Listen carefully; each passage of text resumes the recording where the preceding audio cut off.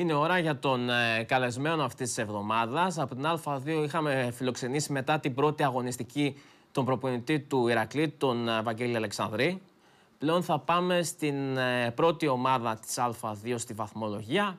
Πολύ δυνατή ομάδα, ιστορική. Εντάξει, δεν χρειάζεται να πω πολλά πράγματα. Και σε ένα πολύ έμπειρο παίκτη με σημαντική καριέρα στα γήπεδα γενικότερα του μπάσκετ που γιορτάζει, τον Νίκο το Μίχαλο. Νίκο, καλησπέρα. Ε, πρώτα απ' όλα ευχαριστώ για την αποδοχή να μιλήσουμε και χρόνια πολλά με υγεία. Ευχαριστώ πολύ και για τα δύο. Υγεία να έχουμε και αυτό το βασικό. Σίγουρα, ναι. Το πιο βασικό απ' όλα. Είχατε ένα παιχνίδι με τον Έολο που ήταν κοντραριστήκατε αρκετά, αλλά καταφέρατε, μείνατε αίτητοι και πήρατε ακόμη μια σημαντική νίκη που σας κρατάει μόνους πρώτους.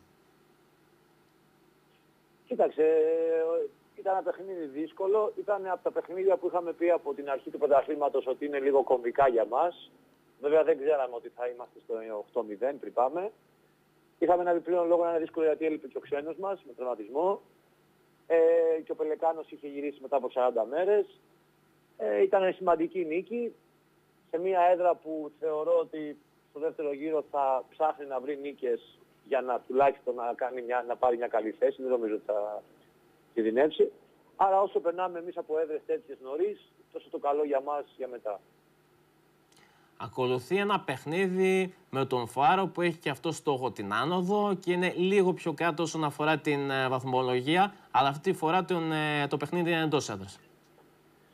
Ναι, κοίταξε, παίζουμε μια ομάδα που θεωρώ ότι ίσως είναι η πιο γεμάτη στην κατηγορία, ε, ε από παίκτες και από γενικά σαν ρόστερ.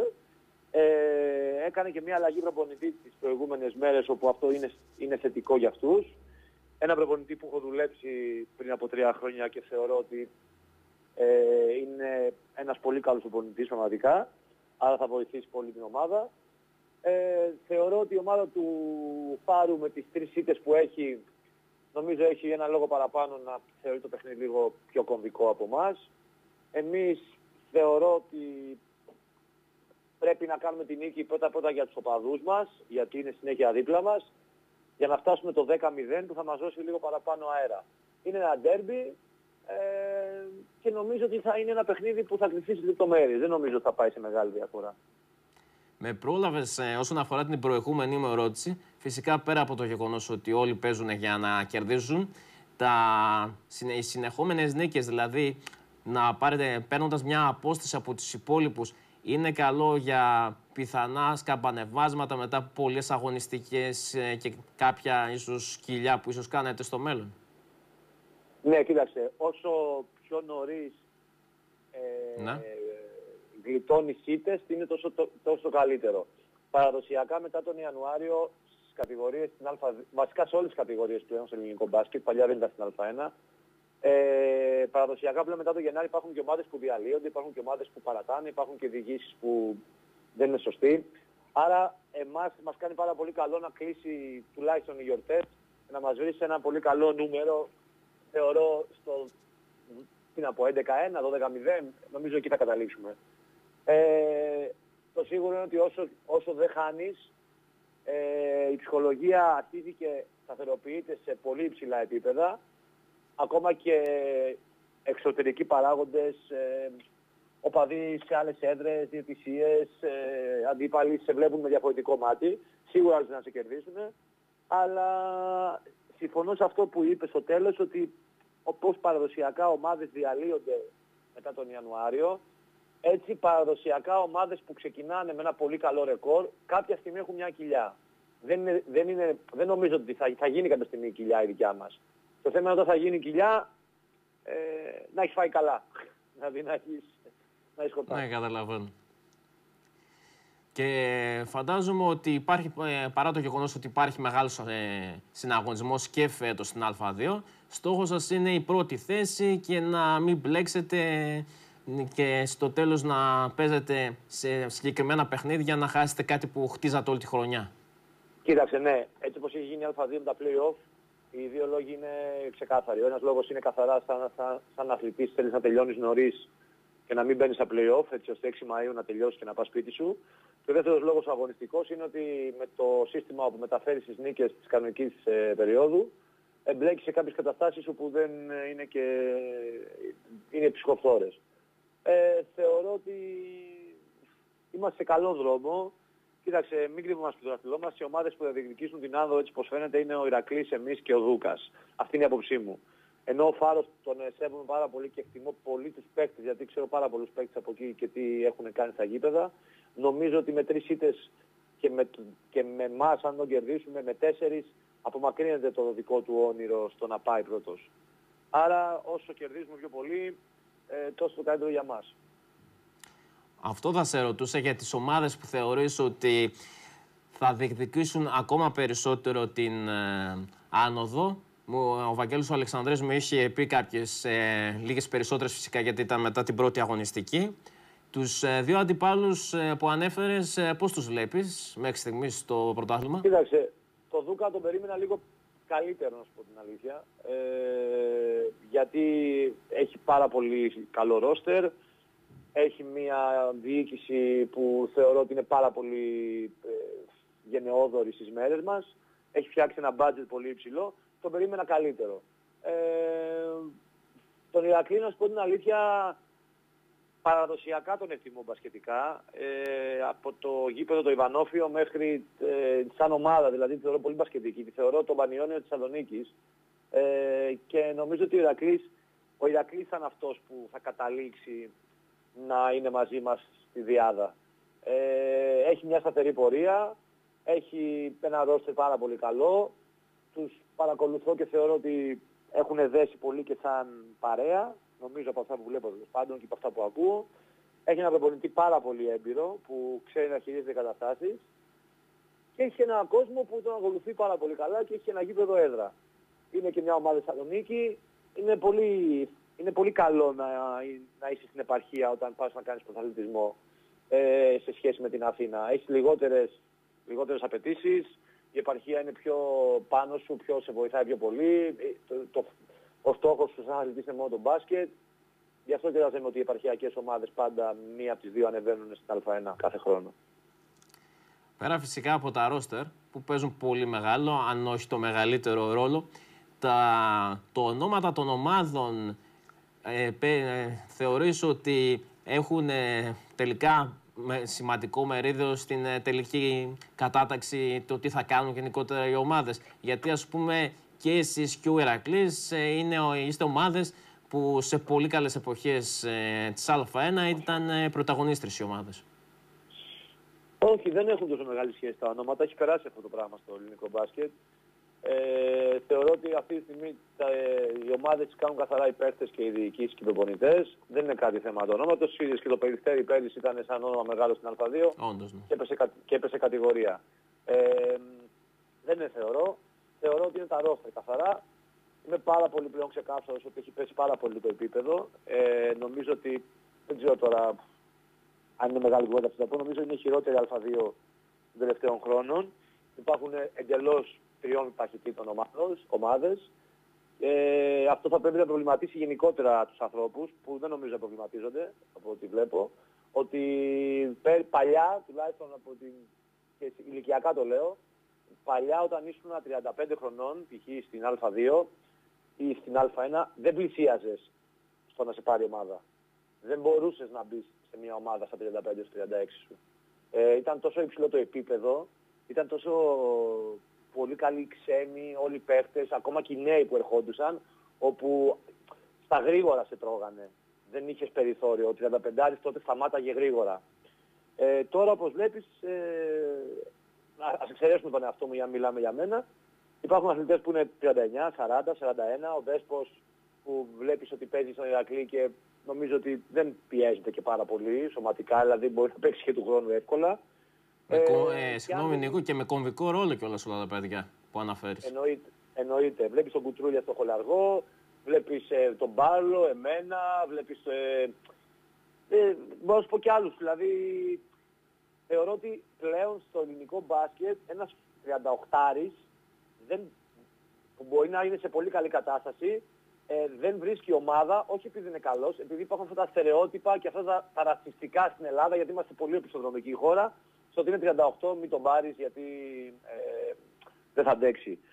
Ε, Απάντως είναι απογοητευτικό να βλέπεις 21 χρονών 22 παιδιά. Να. Γιατί εγώ θυμάμαι στην ηλικία τους ότι είχα τον του γένο με την εθνική ομάδα, είχα προκλήσεις. Υπήρχαν κάθε Τετάρτη μαζευόμαστε που λέω λόγω στις εθνικές ομάδες και ο ένας ήθελε να περάσει τον άλλον.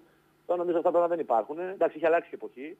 Ε, και γενικά δεν θέλω να είμαι ο παλιός ο παίχτης που πάντα ξέρεις, μιλάς για τα, για τα χρόνια σου. Αυτό πάντα το, δεν μου άρεσε γενικά. Δεν θα γίνω ποτέ σαν τους παλιούς παίχτε θεωρώ ότι οι εποχές αλλάζουν.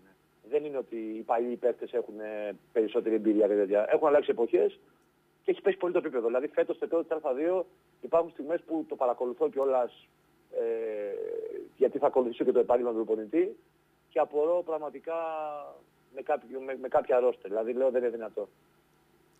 Σε αυτή τη φάση της καριέρας σου ε, να συνεργαστείς με την ομάδα του Πανιωνίου ήταν μια πρόκληση ε, αυτό που λέγεται η επιστροφή του Πανιωνίου εκεί που ανήκει σε στην πρώτη κατηγορία και σε πρωταγωνιστικό ρόλο που σε τράβηξε; Ναι, ήταν μια πρόκληση. Ε, θα το πω και πρώτη φορά.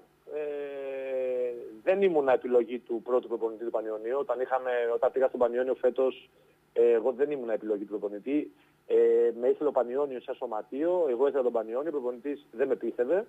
Δηλαδή δεν, έχ, δεν έχω τέτοια ματαιοδοξία και άνθρωπος να, να μην προσπαθήσω για τη θέση. Είχα βάλει στόχο τον Πανιόνιο, είναι μια ομάδα που την αγαπώ πάρα πολύ. Ε, είχα παίξει και παλιά. Ε, είναι από τις ομάδες που έχω πραγματικά τις αγαπώ, χωρίς λαϊκισμό. Ε, ήταν για μένα μια πρόκληση ώστε να ξαναμπω σε ένα σωματείο, σε ένα κλαμπ μεγάλο. Δεν σου κρύβω ότι δέθηκα πολύ μες στον χρόνο. Δεν σου κρύβω ότι πέρυσι όλη η ομάδα για να μια παρέα και ανεβάσαμε τον Πανιόνιο αμέσως, όπου θεωρώ ότι αυτό το πράγμα δεν εκτιμήθηκε γενικότερα, όχι από τους οπαδούς, ξαναλέω, οι οπαδοί είναι καταπληκτικοί, αλλά από κάποιους ανθρώπους, γιατί γνωρίζεις κιόλας ότι υπάρχουν κάποια χρωστούμενα. Ε, και φέτος ήταν και δική μου επιλογή πάλι να είμαι και να περιμένω τον Πανιόνιο μέχρι τελευταία στιγμή για να ανανεώσω, γιατί σου ξαναλέω ότι όσο είσαι σε αυτό το σωματείο και με προπονητές σαν τον Οικονόμου, σαν τον Ζιάγκο, ε, σε βάζουν σε ένα τρυπάκι να θες να έχεις καλύτερη υγεία, καλύτερο σώμα, να έχεις ακόμα ένα, ένα στόχο παραπάνω και το σωματείο γενικά σε βάζει σε μια διαδικασία να θέλεις μαζί του να πορευτείς πιο ψηλά. Δεν στο κρύβω ότι αν δεν ήταν ο Πανιόνιος ίσως είχα σταματήσει τον μπάσκετ τόσο επαγγελματικά ενώ τώρα με τον Πανιόνιο ακόμα δεν μπορώ να σκεφτώ ότι θα σταματήσω τον μπάσκετ. Είμαι Ανέφερες κιόλας το όνομα του Νίκο του Οικονόμου, που βρίσκεται πλέον σε άλλο ρόλο με πάρα πολύ σπουδαία καριέρα. Οπότε η παρουσία του νομίζω έπαιξε και αυτή στο το ρόλο του στο να δεθείς τόσο πολύ με αυτή την προσπάθεια.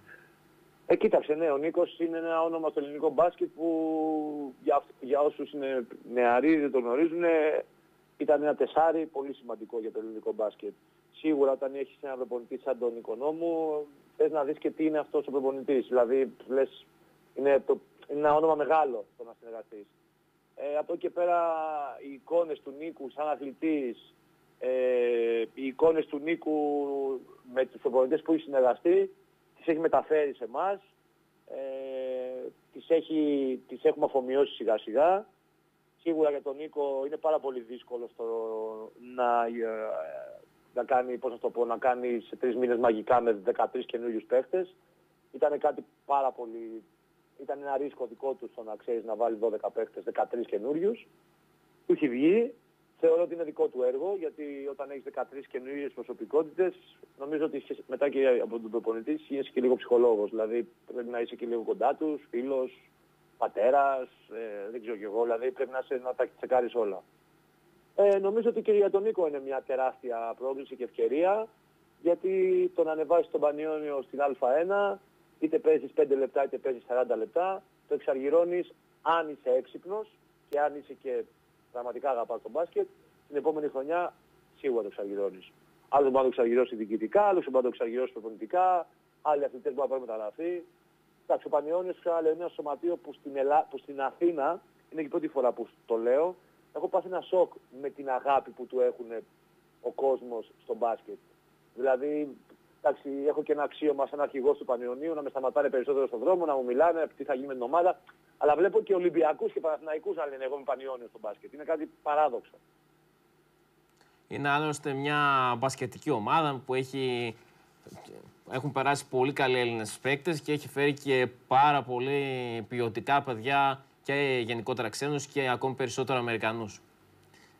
Εννοείται, ο Πανιόνιος ήταν σχολή για τους Αμερικάνους και νομίζω ότι ήταν ένα σωματείο που δεν μπορείς να μιλάς τώρα. Μην, έχουν παίξει ο Φάνης, ο Γιαννάκης, τους ξέρουμε όλοι τώρα. Παίχτε στο οικονόμου, δεν ξεχνάω πάρα πολλούς. Έχουν βγάλει. Λογικό, ναι. Ο Πανιόνιος, ο Πανιόνιος είχε ένα από τα μεγαλύτερα φυτόρια και έχει παιδών και εφήβων. Δηλαδή έχει στελεχώσει εθνικές ομάδες. Ε, είναι ένα σωματείο όπως και ο Ηρακλής, ξαναλέω, που είναι πολύ respect στον πασχετικό κύκλο και νομίζω ότι είναι και σωστό να ανέβουν αυτές οι δύο ομάδες. Χωρίς να έχω τίποτα με τις άλλες. Αλλά επειδή δεν κρύβομαι, θεωρώ ότι αυτές οι δύο ομάδες κυνηγάνε να ανέβουν, το δικαιούται.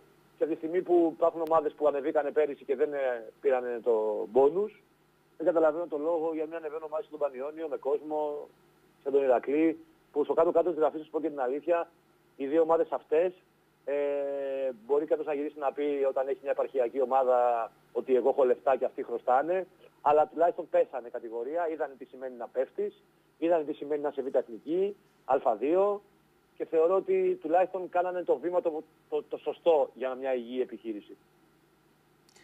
Καταλαβαίνω.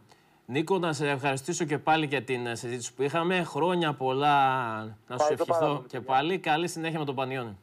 Ευχαριστώ πολύ, ευχαριστώ. Αυτό λοιπόν από τον Νίκο τον ε, Μίχαλο. Κάνουμε εμείς τελευταίο διάλειμμα και επιστρέφουμε αμέσως μετά κοντά σας.